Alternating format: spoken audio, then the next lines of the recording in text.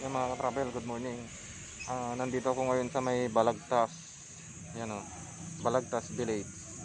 Yan. Nagdala ko dito ng Bonete King. Halagang 50 pesos. Tapos tapos yung yung shipping niya 50 pesos. So inatid ko dito bale 100. So ah 46 pala pero nagbigay siya ng 50 pesos. So bale Oh my God! Bali 100 COD. So yan, Balagtas Village dito sa may papuntang Balete. So pabalik na ako, na-deliver ko na. So magaganda rin ang bahay dito. So na-deliver ko na, ah, babalik na ako ng Balagtas dun sa may rotonda.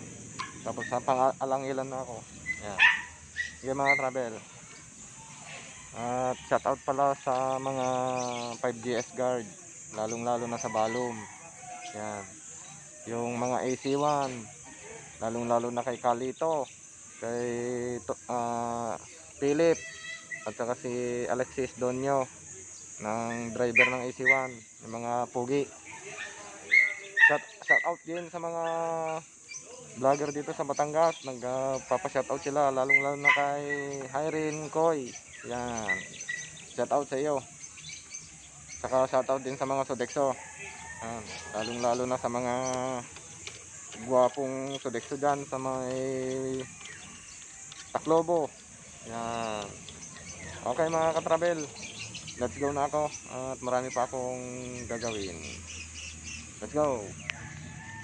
A few moments later. Yan mga katravel, nandito ako ngayon sa pier ng Batangas. So, may nagatid ako dito sa may PPA. Yan, sa may Philippine Port Authority building. Nag-atid ako ng cake. Yan o, nandito ako sa may pier o. Yan. So, nandito ako sa may kalsada. Yan, papuntang Bawan yan. So, dito ako dadaan sa Santa Clara. Yan.